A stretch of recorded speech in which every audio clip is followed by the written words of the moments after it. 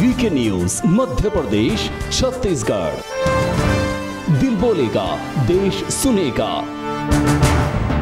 किसी के mummy papa नहीं, उनका मामा भरवाएगा, भारतीय जनता पार्टी की सरकार भरवाएगी। बहनों को बेटा बेटी को जन्म देने के पूर्व, जो चार हज़ार और बारह हज़ार रुपए दिए जाते थे, वो भी बंद कर दिए गए थे। वो भी हमने फिर से चालू कर दिए। एक्सीडेंट पे मौत पे चार लाख देते थे, कांग्रेस ने बंद किया, हमने फिर चालू कर दिया। सामान्य मृत्यु पे दो लाख देते थे, कांग्रेस ने बंद किया, हमने फिर चालू कर दिया। और तो और अंतिम संस्कार के लिए भी पाँच हज़ार रुपया जो देते थे, वो बंद कर दिया गया था। वो भी हमने फिर से चालू कर दिया। ऐसी बंद पड़ी अनेकों योजनाएँ प्रारंभ कर दी है अब कोरोना समाप्त हो रहा है, इसलिए मुख्यमंत्री तीर्थ दर्शन योजना हो या कन्यादान योजना हो। वो फिर से शुरू कर दी जाएगी। समय मुझे इसकी इजाज़त नहीं दे रहा कि मैं लंबी बात करूँ। मैं रात्रि विश्राम खंडवा में करूँगा। तब मैं ज़रूर आपसे और भी मिलूँगा। लेकिन आज मैं पुनासा की सड़क पे खड़े होकर खंडवा की जनता से ये निवेदन कर रहा हूँ कि बहनों और भाइयों, नंदू भैया के स्वर्गवास के कारण ये चुनाव हो रहा है।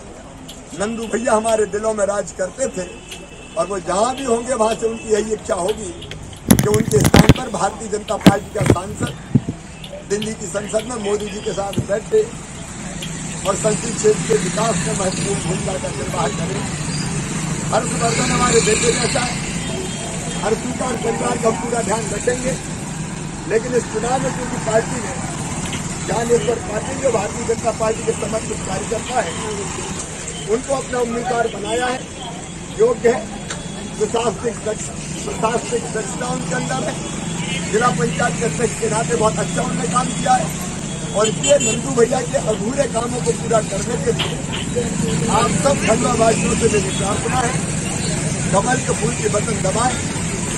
ज्ञानेश्वर पाटिल को अपना सांसद बनाए।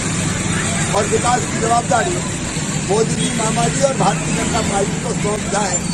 यही प्रार्थना आज रात विश्राम खंडवा के गरीब परिवार में मैं करूँगा। तब मौका मिला तो फिर आपसे चर्चा करूँगा।